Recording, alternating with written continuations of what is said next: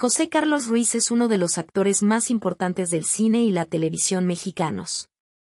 Con una trayectoria de más de 65 años, ha participado en decenas de películas, telenovelas y obras de teatro, cosechando un sinnúmero de premios y reconocimientos.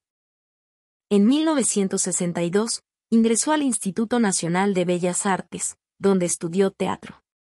Su debut en el cine se produjo en 1964, con la película Viento Negro. A partir de entonces, ha participado en una gran variedad de géneros, desde dramas hasta comedias. Entre sus películas más destacadas se encuentran Canoa, El Mil Usos, Damián, La Furia de un Dios y Guadalupe. Su versatilidad como actor le ha permitido interpretar una amplia gama de personajes, desde villanos hasta héroes, desde cómicos hasta trágicos.